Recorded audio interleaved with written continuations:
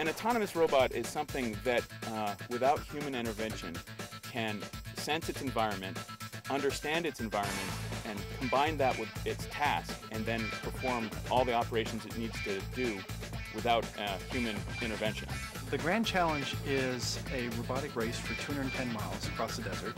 Really, this race is not so much a challenge of racing against someone else as racing against the terrain. It's, it's a technical challenge more than a racing challenge. In a way, we're kind of releasing this vehicle into the wild. We, we're not able to follow it in person or, or view it live as it happens. One of the things we're going to do is drive the car over the terrain we read in from our laser scanners. And so as our laser scanners uh, perceive the terrain, we load that into the machine. The machine does processing on that to figure out uh, a load-bearing surface map of that and then drive over it. Real-time physical modeling is very computation intensive. The more computing power we can throw at it, the more sensors we can analyze and the, the better we understand where we're going and the more safe and more reliable the robot will be. We have more computing on this vehicle than I've ever had on any robotics project I've ever worked on. We're using three uh, Xeons and we're using an Itanium for a, a lot of the uh, computation intensive planning.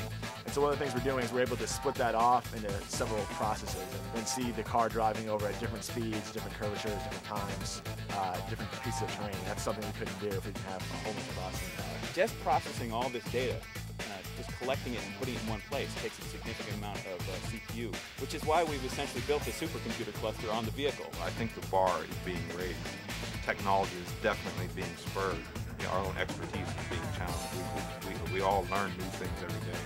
Every time we take this vehicle out, or every night when we tear it down, install new electronics or mechanics. Two hours before the race starts, they give us a, a CD with GPS coordinates that we must, must go past within a certain tolerance and we take those and we load them into our robot. It really kind of becomes its own person, its own entity with its own thoughts as to what it's going to do.